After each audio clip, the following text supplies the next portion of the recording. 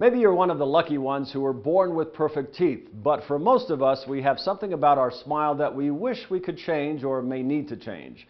Orthodontic treatment has advanced so much, it's no longer just those metal wires and brackets of the past. Orthodontist Dr. Atoosa Nikaeen and her highly qualified team believe that a beautiful, healthy smile can impact all aspects of your life.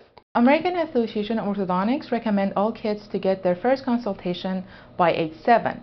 Some of the problems that might require early uh, interceptive treatment include uh, severe crowding, deep overbite, protruded teeth. Uh, the other problem could be crossbites. Dr. Nikaeen offers new choices that are sure to change your mind about braces. Braces behind the teeth uh, or lingual braces or hidden braces are one of the choices that we offer to our adult patients. Incognito braces are customized lingual braces uh, that follow the contour of each tooth for the comfort and the performance.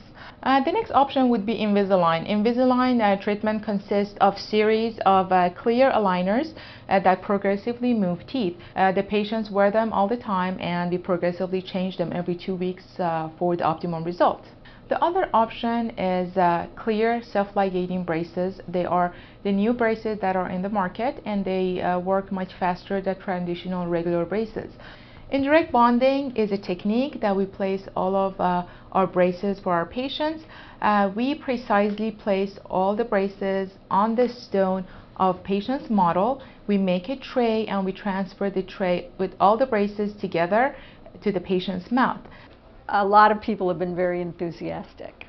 And a lot of people say to me, well, why do you need braces? Your teeth look so straight. And I say to them, that's because I'm wearing braces. Dr. Atoosa Nikaeen, building lasting, beautiful smiles inside and out.